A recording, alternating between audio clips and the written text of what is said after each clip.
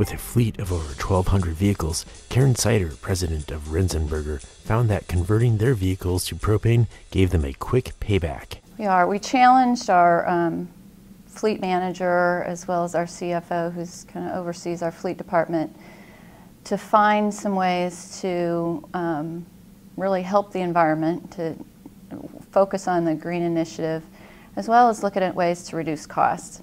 Um, one of the things that our customers are very focused on is costs and how do we continue to reduce our, our um, services to them, the cost of our services to them.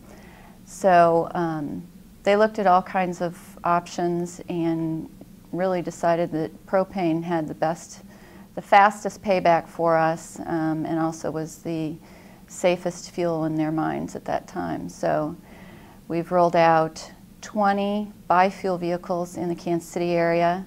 Uh, so they run on both propane and regular gasoline. If the propane, if the propane tank has propane in it, they're operating on pro propane. If once that runs out, it switches over to gasoline.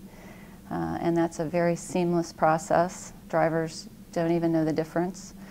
Uh, and then we have 10 100% propane vehicles operating in the LA Basin area out in California. Our plan is to roll out another 100 units for model year 13, um, and we're looking at doing 100% propane vehicles, uh, some of which will have an extended tank on them so that they'll have further capacity.